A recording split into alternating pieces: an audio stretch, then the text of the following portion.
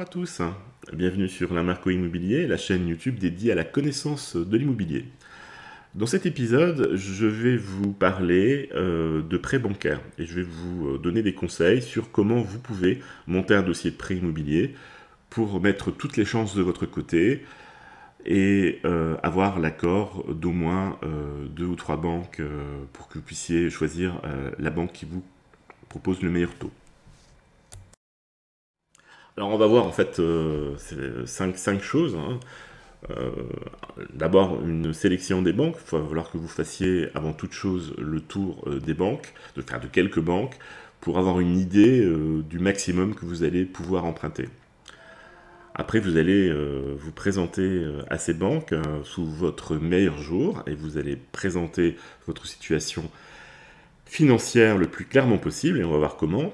Et euh, si vous avez euh, quelques accords de prêt, bah, vous allez pouvoir chercher votre bien. Et après, déposer une demande de financement auprès des banques qui euh, vous ont proposé les meilleurs taux. Et pour finir, on va parler d'une recommandation qui a fait couler pas mal d'encre du Haut Conseil de stabilité financière, le HCSF, qui a émis des recommandations auprès des banques pour éviter le surendettement des ménages on va voir dans les faits que ça ne change pas grand-chose, parce que de toute façon, les banques faisaient déjà leur travail correctement.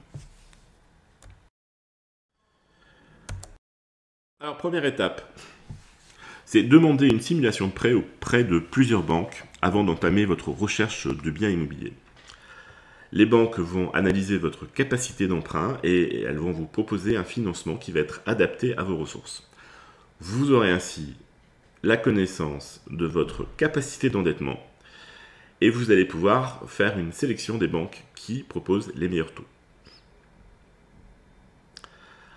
On peut aussi négocier le, taux, euh, bien que la marge d'une négociation soit très faible. C'est pas impossible. Vous avez deux leviers de négociation hein, que j'utilise moi. C'est l'assurance emprunteur. Vous pouvez leur promettre euh, de, retenir en fait euh, l'assurance emprunteur.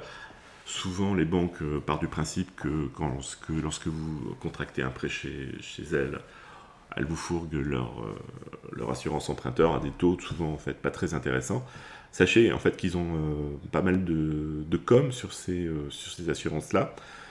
donc vous pouvez leur dire voilà écoutez faites-moi ce taux, prenez-moi tout simplement et moi je m'engage en fait à, à retenir le taux, le, l'assurance emprunteur que vous allez me proposer. Et puis aussi, si c'est pas votre banque principale, vous allez leur, vous pouvez aussi leur promettre à ce qu'elle devienne votre banque principale. Alors, cela dit, euh, vous pouvez changer euh, d'assurance emprunteur en cours de crédit, c'est pas interdit, et vous pouvez euh, changer de banque quand vous voulez. Donc rien ne vous lie à une banque qui vous a fait un crédit bancaire. Après, c'est une promesse. Après, pour être honnête, vous pouvez garder leur assurance emprunteur peut-être deux ans euh, et voir après s'il n'y a pas mieux. Euh, et c'est pareil pour la banque principale, vous savez, c'est pas si compliqué que ça de changer de banque parce que la banque euh, que vous avez choisie s'occupe en général de toutes les formalités administratives de transfert de banque. Elle, elle s'occupe elle-même de contacter vos, vos, créanciers. voilà. Donc, voilà les, leviers possibles. Alors moi, de, bien vous présenter, alors pas seulement de bien présenter votre situation euh, personnelle, mais de, bien vous présenter vous-même en fait. Hein. Soignez votre présentation, n'allez pas à la banque habillé n'importe comment, habillez-vous comme si vous alliez à un entretien d'embauche. Et il va falloir que vous présentiez votre situation personnelle le plus clairement possible. On va voir comment dans la slide suivante. Le banquier aime les chiffres, alors on va lui en donner des chiffres, et on va les mettre en valeur. Et ça, ils aiment. Alors comment, euh, comment présenter euh, votre situation euh, personnelle le plus clairement possible? Tout simplement avec un tableau patrimonial. Je vais vous donner un exemple de ce tableau. Ce tableau va présenter de façon claire et nette votre situation au banquier et il va traduire votre stabilité professionnelle et financière. Faites apparaître toutes vos sources de revenus ainsi que vos économies. N'oubliez rien, tous les placements, les livrets, les assurances vie. et même le PERCO si vous avez des plans qui ont été souscrits par votre employeur. Et puis vous pouvez faire professionnel en calculant déjà vous-même votre taux d'endettement, qui est très facile à faire en fait. Vous prenez en fait l'ensemble de vos charges fixes que vous divisez par l'ensemble de vos revenus, vous multipliez par 100. Donc là vous avez un taux. À ce stade en fait, il n'est pas nécessaire de communiquer au banquier que vous, que vous voyez, que vous rencontrez, d'autres pièces justificatives.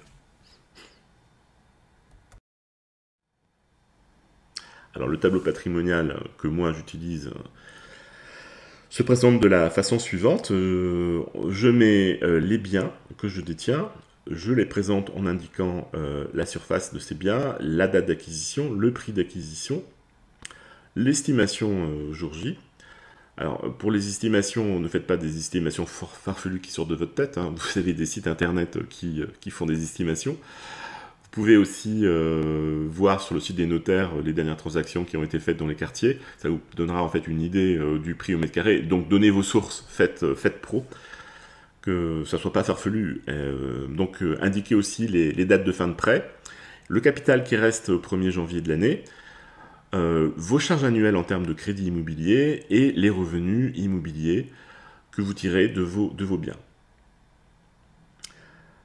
Alors, euh, dans cet exemple, donc, euh, on a euh, trois appartements avec un taux d'endettement qui est de 41%. Donc, dans cet exemple, j'ai pris un, salaire de, plus de 30, 38 000 euros. Donc, comme dans cet exemple, on a pas mal d'endettement, ça fait un taux d'endettement de 41%. Ce qui est énorme. Alors, cela dit, c'est pour ça que c'est un exemple intéressant, 41%, c'est pas en soi, en absolu, ça ne veut rien dire. Ce qu'il faut regarder, euh, c'est euh, les ressources qu'il y a derrière ce, taux. Euh, si l'investisseur a un taux d'endettement de 41% avec des revenus de 15 000 euros, évidemment, le banquier ne va pas le retenir. En revanche, dans cet exemple, on a quand même des revenus conséquents, plus de 70 000 euros, euh, donc ça, en fait, on va, on va les mettre en valeur. Et je vais vous montrer comment.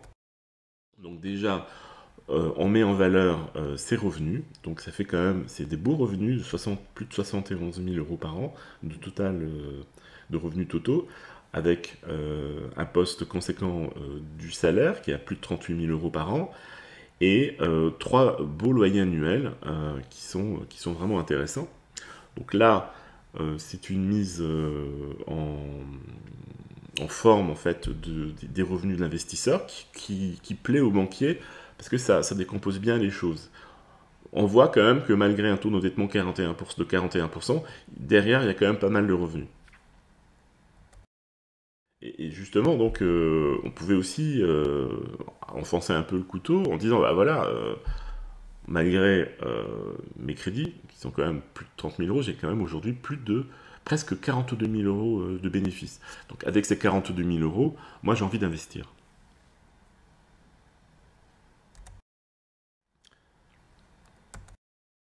Alors, si vous avez euh, au moins une offre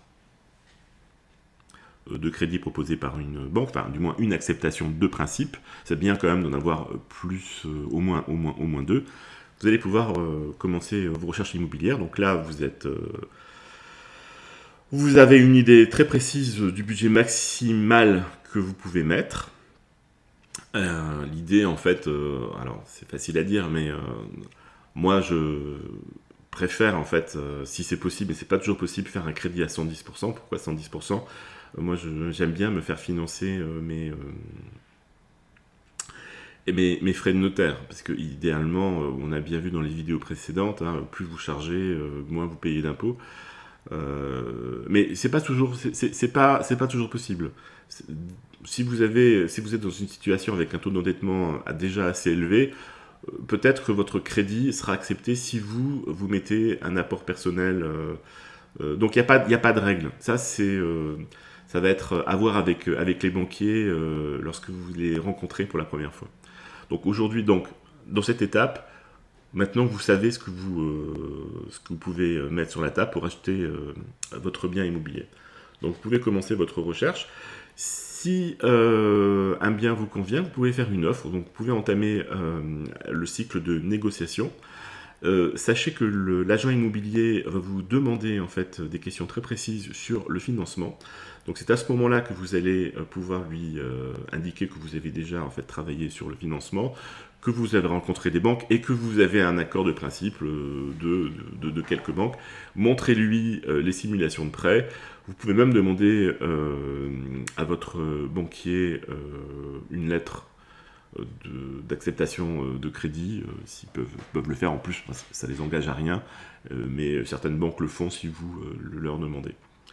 Et donc ça aussi, c'est un, levier de négociation avec, avec le vendeur, parce que vous allez pouvoir lui dire, attendez, mais moi, faites-moi un prix, parce que vous êtes sûr au moins que mon crédit ne va, pas être, va pas être refusé. Et ça, c'est la hantise des vendeurs et des agents immobiliers, parce que euh, si au bout de deux mois, trois mois, euh, bah, leur, bien revient sur le marché, le vendeur, lui, il est resté sur, euh, il a eu sur, les bras pendant trois mois sans bien. L'agent immobilier a travaillé pour rien, ils sont obligés de tout refaire, donc ça, ils n'aiment pas. Donc, ils vérifieront de façon très précise votre source de financement.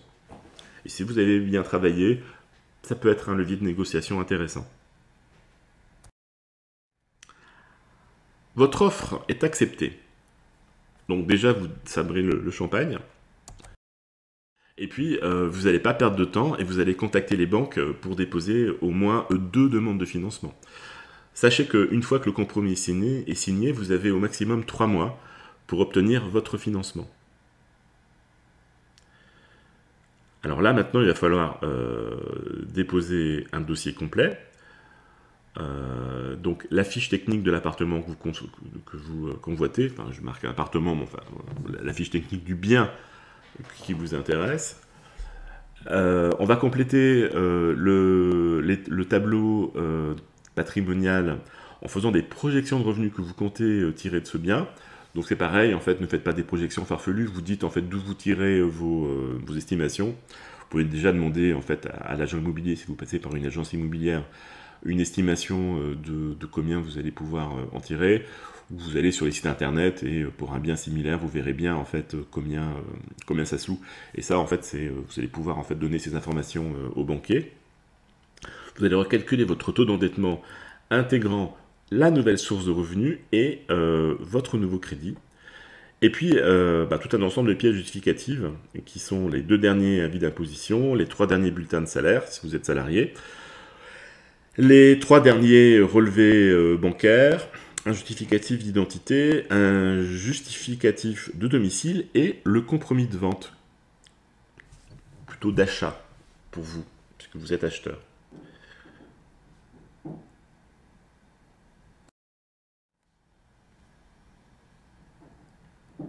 Alors pour terminer, euh, je vais vous parler des recommandations euh, du HCSF, alors, les recommandations du Haut Conseil de stabilité financière va à, euh, préconiser, à recommander aux banques et euh, d'une façon générale à toutes les sociétés de financement de faire preuve de prudence dans l'octroi des crédits immobiliers, en veillant à ce que le taux d'effort des emprunteurs de crédits immobiliers n'excède pas 35%, que la maturité du crédit n'excède pas 25 ans, auquel on peut euh, ajouter une période maximale de deux ans de différé d'amortissement dans les cas où la date d'entrée en jouissance du bien est décalée par rapport à l'octroi euh, de crédit. Cela dit, cette recommandation euh, complète normalement le jugement des banques qui savent travailler dans leur appréciation des risques. Alors, le HCSF indique aussi qu'une partie des octrois de financement peut déroger à ces limites si elle est justifiée. Elle dit euh, que la flexibilité admise peut aller jusqu'à 20% du montant de la production trimestrielle de nouveaux crédits.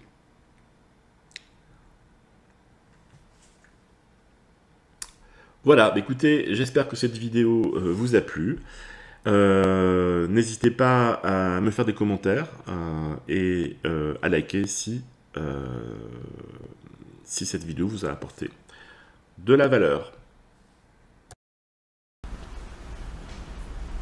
Si la vidéo t'a plu, abonne-toi. Retrouve-moi sur Instagram à Lamarco Immobilier et like la vidéo. À bientôt